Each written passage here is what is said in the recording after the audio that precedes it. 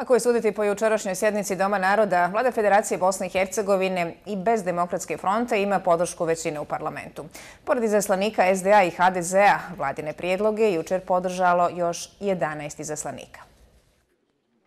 Nacrti izmjene nekoliko zakona, odluke i izvještaji koje je predložila vlada Federacije Bosne i Hercegovine jučer su dobili podršku većine u Domu naroda.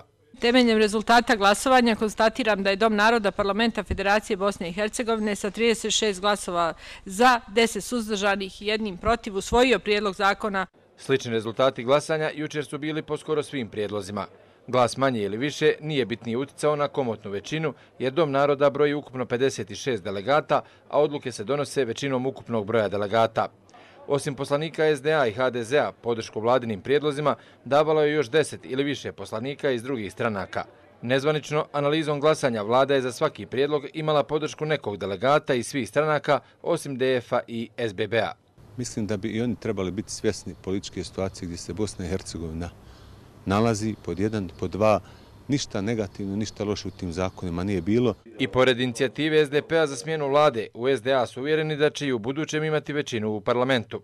Mi očekujemo da ćemo, nakon što otvorimo vrata putem ili nove koalicije ili putem pritiska da se, da se kroz parlament i ovaj zastupnik dom e, provlače tačke iz, iz e, dakle, ekonomskog programa, e, mi očekujemo da ćemo sad, znači, vrlo brzo glavne tačke koje podupiru zapošljavanje, ekonomski rast, znači, počet, znači, gurat kroz parlamente. Mislim da do te rekonstrukcije doći neće.